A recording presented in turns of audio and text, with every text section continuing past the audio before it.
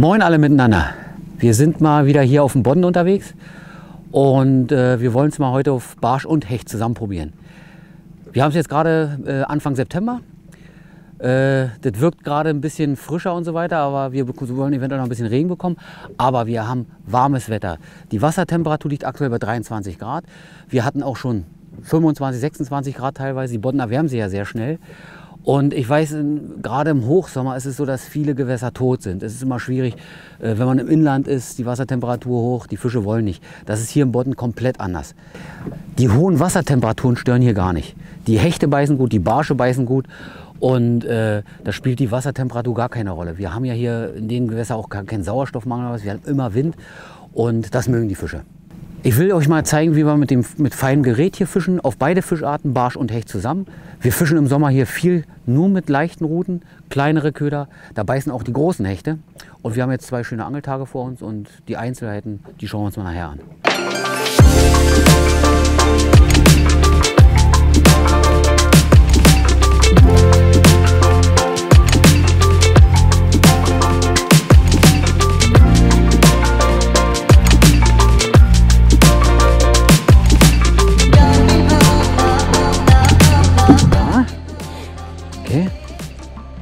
Oh, da kommt der nächste Barsch, der ist gut. Hier kommt ein guter Barsch. Oh, wird definitiv. Ja, ja. Ah, hängt knapp. Schön.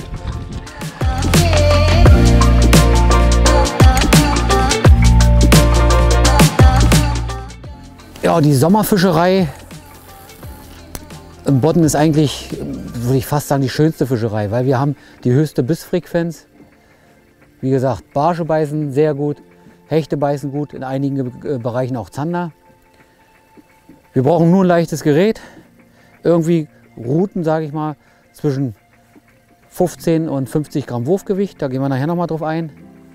Und ja, Ködervarianten können wir alles benutzen. Ich sag mal, viel wird mit Gummi gefischt. Zwischen 7 und 10 cm Ködergrößen.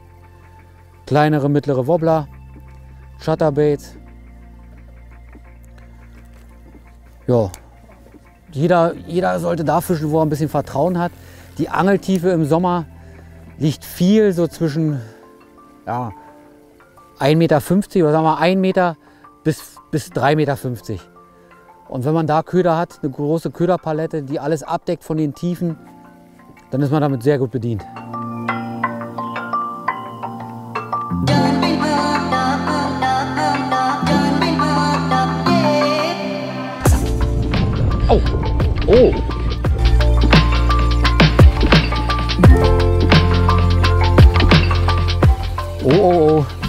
Schöner Fisch.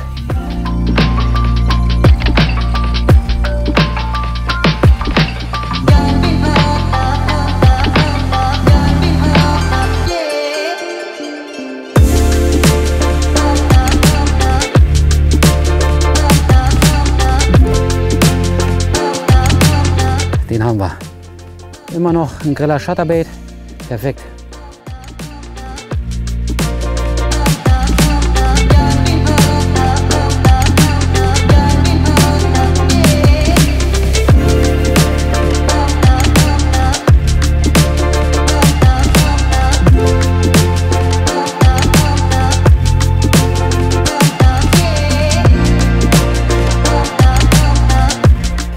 Einjährige Hechte. Davon haben wir gerade ganz viele. Also der ist jetzt von letztes Jahr März, April. Alles so 50er Fische knapp. Also Nachwuchs ist da und ich hoffe, die halten ein bisschen durch. Dann haben wir nächstes, übernächstes Jahr eine super Fischerei auf 80er Hechte.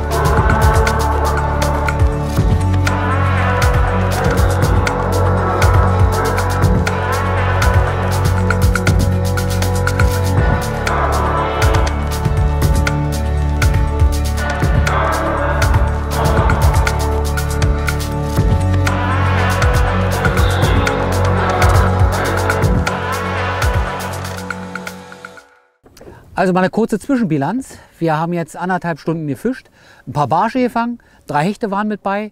Ähm, wir haben immer noch äh, trübes Wetter, die Sonne kommt später raus. Der Wind hat ein bisschen zugelegt und wir haben trübes Wasser. Ich habe jetzt die ganze Zeit durchgefischt mit einem Bladed Jig und äh, hinten als Trailer ein Keffi Shed. Und äh, ja, das hat es eigentlich gebracht. Diese grelle Farbe äh, standen drauf. Äh, Julian hat auch noch mit, mitgefischt. Der hat mit dem Crankbait ein bisschen gefischt, aber auch grelle Farbe. Alles in allem läuft gerade. Also es macht richtig Spaß.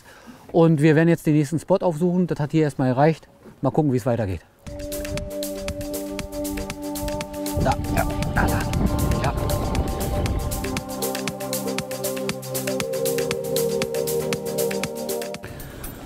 So, wir haben jetzt den Mittag. Ist so ein bisschen Beißflaute. Da können wir mal ganz kurz ein bisschen aufs Gerät eingehen. Also im Grunde genommen im Sommer, wenn wir hier das leichte Fischen machen, dann sind so Routen zwischen ich sag mal, 10 und vielleicht 50 Gramm Wurfgewicht ideal. Immer so natürlich ein bisschen den Köder anpassen. Am besten ist immer, man nimmt mal zwei Routen mit, eine sehr leichte vielleicht und eine mittlere Route. So kann man das ein bisschen abdecken, welchen Köder man da auch im Einzelnen nimmt. Zum einen die leichteste Route, sag mal, hier haben wir jetzt eine 3 bis 14 Gramm Route. Da kannst du kleine, äh, kleine äh, Gummiköder, Jigs äh, fischen, das macht sehr viel Spaß. Vielleicht mal ein ganz kleines äh, äh, Chatterbait, irgendwie so diese Richtung. Damit ist man, hat man den meisten Spaß, hat aber auch natürlich seine Grenzen, wenn die Köder ein bisschen schwerer werden oder wenn der Haken mal ein bisschen größer wird, äh, bedeutet, dass der, der Köder dann nicht richtig vernünftig eindringt. Dann muss man dann dementsprechend eine etwas äh, schwere Route nehmen. Danach kommt dann so vielleicht die Variante bis 21 Gramm. Da kann man dann schon, also Wurfgewicht 21 Gramm, da kann man dann schon mal äh, einen Bladed Jig äh, fischen, weil der hat doch ein bisschen größeren Haken, dass man wirklich auch einen Anhieb hinkriegt. Oder wenn man so ein bisschen Crankbaits fischt, dass man die auch ein bisschen aktivieren kann. Dafür ist die etwas, äh, also 21 Gramm Route in dem Falle. Ja, und wenn man mal schwerere Köder oder ein bisschen größere Köder, Gummifische vielleicht bis 12, 14 Zentimeter äh, oder äh, schwerere Shutterbaits, auch ein bisschen größere Wobbler fischt, ist dann schon so eine Route 40, vielleicht 50 Gramm ideal, damit man die auch die Köder aktivieren kann, beziehungsweise dass man den Haken auch setzen kann. Anpassen muss man ein bisschen die geflochtene Schnur. Ich sag mal, bei einer ganz feinen Route kann vielleicht eine 8er geflochtene rauf, bei so einer 20, 30 Gramm Route vielleicht eine 10er, 12er und bei einer vielleicht 50 Gramm Route irgendwie eine 14er, 16er, 14er, 16er geflochtene. Dazu empfehle ich immer Stahl oder Titan. Ähm, wie gesagt, wer Fluorcarbon benutzt, der äh, wird auch immer wieder mal ein Hecht verlieren. Die Fische sind hier nicht vorfachscheu, also das Wasser ist sowieso trüb, es ist Gras drin. Wenn es mal glasklar ist vielleicht, dann kann man ein ganz feines Stahlvorfach nehmen. Äh, in so Fällen ist es auch so, dass ich ja auch eine kleine Titanspitze fische, wenn es mal wirklich ganz kleine, feine Köder sind äh, oder extrem klares Wasser. Dann mache ich hier ein bisschen Fluorcarbon, aber dann eine, eine Titan- oder Stahlspitze vorge vorgelagert.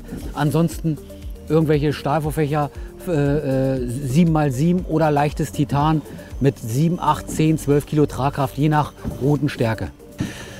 So, Gummifische funktionieren immer. Zu der Zeit jetzt im Sommer und äh, August, September 7, 10, 12 Zentimeter, so diese Richtung. Kopfgewichte zwischen 10 und 20 Gramm. Äh, man kann hier auch wirklich über, überbebleit sehr gut fischen. Also wenn man jetzt, wenn 10 Gramm oder 8 Gramm sogar vielleicht reichen würden, im Normalfall bei wenig Wind, kann man trotzdem mal immer probieren, 15 oder 20 Gramm ranzuhängen. Die Fische, die Barsche stehen gerade bei ruhigem äh, Wetter oder beziehungsweise bei klarem Wasser, stehen die auf aggressive Führung und da ist manchmal ein 20 Gramm Kopf ideal. Überbebleit, hartes, schnelles Jicken, da beißen die Barsche dann drauf. Immer eine gute Wahl sind auch verschiedene Wobbler, mittlere, kleinere Wobbler, Crankbaits. Äh, wir fischen ja zu der Zeit viel jetzt hier im Bereich zwischen 1 und 3 Meter. Also Köder, die viel um 2 Meter rumlaufen. Äh, mit Rasseln immer drin, gerade wenn es trüb ist das Wasser. Auch mal eine aggressive Farbe. Wenn wir sehr trübe Wasser, äh, äh, trübe Bereiche haben oder halt früh morgens oder abends ist sowas gut. Ansonsten auch mal eine natürliche Farbe, Barschdesign, die funktionieren auch regelmäßig. Einer meiner Favoriten die letzten Jahre in den Sommermonaten ist der Bladed Jig. Äh, hier in dem Falle jetzt die letzten Tage zwischen 12 und 21 Gramm. Damit kann man verschiedene Tiefenbereiche abdecken. Hier den Gummifisch, den man raufzieht, den Trailer, kann man da, da kann man verschiedene Farbvarianten mal machen. Ein, kleine Schaufelschwanzfische, kleine Gummifische allgemein. Äh, die erzeugen sehr viel Druck. Das heißt, gerade bei trübem Wasser äh, oder frühmorgens und abends sind die sehr, sehr gut. Und äh, ja, wir haben ja schon ein paar Fische gefangen. Die sind immer gut aktuell. Blitzende Sachen sind natürlich auch immer gut, wie Spinnerbaits, irgendwelche Blinker, irgendwelche Spinner oder hier den Rocket Chat. Äh, die funktionieren natürlich sehr gut, weil die halt auch sehr, sehr viel Druck machen. Man sieht das Blitzen von, von entfernt, gerade so bei trüberen Wasser oder, oder bedecktem Wetter sind die immer ein Wurfwert und die fangen auch regelmäßig. Ja, ein Grundproblem ist, wo finden wir überhaupt die Fische, also Barsche und Hechte. Im Sommer ist es so, ich, wir angeln selten sehr flach. Der, meistens ist es so, was gut funktioniert, wenn das Wetter ruhig ist, sind Fahrwasserrinnen immer gut. Irgendwo, wo ein bisschen Bewegung ist. Wenn wir wenig Wind haben, wenn wir viel Sonne haben, dicht am Fahrwasser, ein bisschen Strömung und so weiter. Dann äh, fischen, wir sehr viel so eine, solche Kanten hoch. Wir, mal, wir haben drei Meter Wassertiefe äh, oder drei, dreieinhalb Meter, je nachdem. Und die Krautkante befindet sich so bei zwei Meter. Dann drücken wir manchmal, wenn der Wind drauf drückt oder Strömung drauf drückt, dass wir dann auf dreieinhalb Meter ansetzen und uns rauftreiben lassen. Oder in dem, manchmal auch im Falle dementsprechend, je nachdem wie der Wind kommt, dass man sich runtertreiben lässt. Dann funktioniert es auch manchmal äh, direkt auf Krautfeldern. Also wenn, gerade wenn Sie die Krautfelder so zwei Meter Wassertiefe haben und vielleicht das Kraut 50 cm hoch wächst, dann kann man sich auch rübertreiben lassen. Da kann man dann mit verschiedenen Wobblern, Gummifische nur durchgeleiert, äh, Bladed Jig oder sowas nur geleitet auf 1 Meter Wassertiefe. Das funktioniert zu bestimmten Zeiten auch gut. Ähm, dann wenn man Steinfelder hat, in einigen Bodden gibt es ja auch viele Steinfelder, da genauso, dass man sich über die Steinfelder rüber oder an, an den Kanten entlang driften lässt oder vielleicht mal, wenn man ein paar Bisse hat, auch mal einen Ankerplatz äh, macht, dass man dann halt den, den Bereich direkt ausfischt. Also man hat mehrere Möglichkeiten. Lieblingstiefe beim Barschangeln in der Regel bei mir zwischen 1,50 und 3,50 Meter um die Jahreszeit. So, da kommt noch mal ein schöner. Ja, ganz so klein ist er nicht. Nochmal auf den Wobbler. Okay. Gut. So, das wird der letzte Barsch für heute sein. Da zieht wohl so ein bisschen Regenfront oder Witterfront auf. Also, wir hatten heute einen schönen Tag. Wir haben, ich glaube, fünf Hechte gehabt, eine ganze Menge Barsche. Die letzte Zeit war es ein bisschen zäh.